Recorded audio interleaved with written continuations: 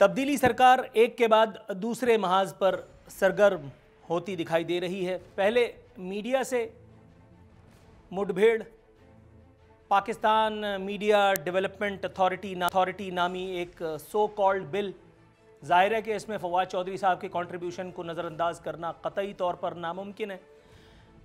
ख़ुद भी एंकर रह चुके फवाद चौधरी साहब, मुख्तलिफ़ हुकूमतों में कभी वजारत का, कभी मुशावरत का, कभी किसी और चीज़ का झूला झूलते आए हैं।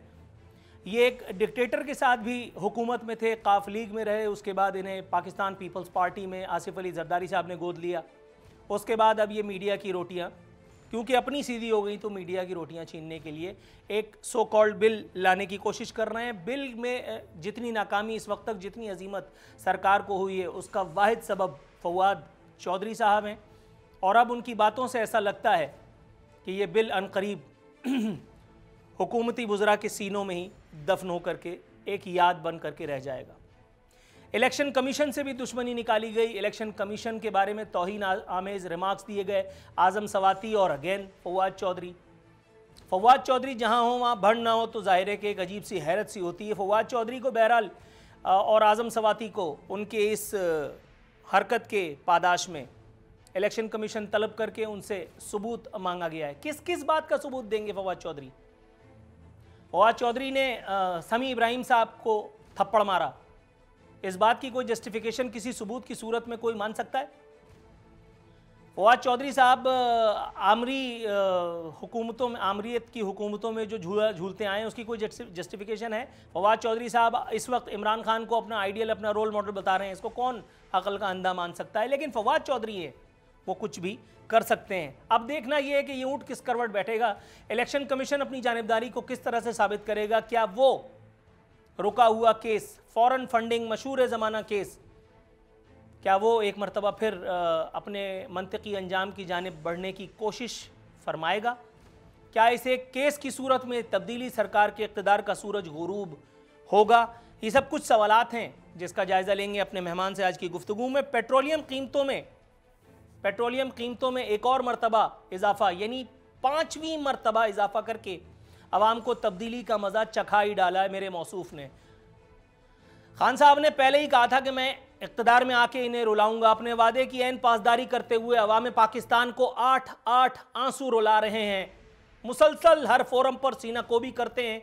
कभी कहते हैं माफियाज चलने नहीं देती, कभी कहते हैं फ़लाँ चीज़ महँगी हो गई है, कभी कहते हैं फ़लाँ एलिमेंट हमें चलने नहीं दे रहा। ये मुल्क का वाहिद वज़ीर आज़म है, जिससे कुछ नहीं हो रहा मासिवा शिकवे और शिकायत के। पेट्रोलियम कीमतों में इजाफे के बावजूद भी वजरा की अगर हम अलटप बातें सुने तो यकीन कीजिए आपका ब्लड प्रेशर हाई हो जाएगा।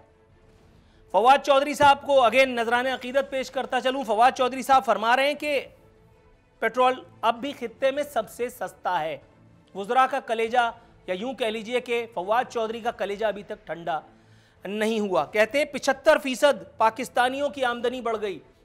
अगर सिर्फ़ फवाद चौधरी की आमदन के बारे में एहतसाब वाले मुल्क के इदारे मालूम करें तो उन्हें पता चल जाएगा कि जिन पाकिस्तानियों की वो बात कर रहे हैं, वो या तो जहलुम में है, या तो खुद वो फवाद चौधरी के रिश्तेदार हैं, या तो खुद फवाद चौधरी ही अपने आप को पाकिस्तानी समझते हैं। असद उमर साहब, वो जिन्हें पेट्रोल 40-50 रुपए से ज़्यादा नहीं चाहिए था, आज जब मीडिया ने उनसे बात की और बताया कि भाई आपने एक मरतबा वजारत छोड़ने की बात की थी तो उन्होंने अपनी याददाश्त के जाने का ऐलान करते हुए कहा कि सानू की। ये वही असद उमर हैं जिन्होंने कहा था कि एक साल में अगर हम कोई तब्दीली नहीं ला सके तो मैं घर चले जाऊँगा। अभी तक वो घर तो नहीं गए, मैं अपने घर की बात कर रहा हूँ। डॉलर मुल्क की तारीख में बुलंद तरीन सतह पर इस वक्त खड़ा हुआ है, लेकिन याद रहे कि वज़ीर आज़म आज भी पिछला वाला ही चोर है, क्योंकि मौजूदा हजाज कराम की हुकूमत आपके सर पर मुसलत है। बिजली की होशरुबा कीमतों में इजाफा तस्लीम किया गया है। ताजिकिस्तान में खड़े होकर के उन्होंने फरमाया कि मैं तस्लीम करता हूँ कि बिजली की कीमतें जो हैं वो ज़्यादा हैं। सर, तस्लीम कर लेने से क्या होगा? जब तक आप इस सिलसिले में कोई अमली कदम नहीं उठाएँगे और दो हज़ार फ़ीसद गारंटी, दस रुपये की शर्त, आप कोई कदम नहीं उठाएँगे, आप सिर्फ़ हवाई फायर करते रहेंगे। खान साहब के जुल्म की दास्तान अब ताजिकिस्तान भी पहुँच गई, जहाँ एन एक तकरीब में एक सरकारी नहीं, बल्कि एक बिजनेसमैन ने एक बिजनेसमैन ने एक शेर की सूरत में उनके सब्र को आजमाया। शेर था, इतने जालिम न बनो, कुछ तो मुरवत सीखो। ज़ाहिर है खान साहब का पारा बुलंद होने से कौन रोक सकता था? वैसे भी नाक में मक्की नहीं बैठने देते। हैंडसमता की तो आपको पता है, इंतहा पर है मेरे मौसूफ। अपने खिलाफ ये चार्जशीट उनसे बर्दाश्त न हुई, बीच में उन्होंने रफड़ पड़ा के और बात को आगे पीछे करवा दिया। दूसरी जानब, तब्दीली वाले, तब्दीली वाली सरकार एन अगर मैं नाम लूँ तो तमाम वज्रा से लेकर के और सदर मुआज़म तक। इमरान खान साहब की खुशामत में सर तापा गर्क हैं। पिछले दिनों आरिफ अलवी साहब ने एक इंतहाई मज़ा खेज़ बयान में और एक इंतहाई फ़ातरकल किस्म के बयान में पूरी दुनिया को इमरान खान की पीरी मुरीदी इख्तियार करने की पेशकश फरमाई। हैरा हूँ, दिल को रोऊं के पीटूं जिगर को मैं। सब्सक्राइब करें और बेल दबाएँ ताकि कोई खबर रह न जाए।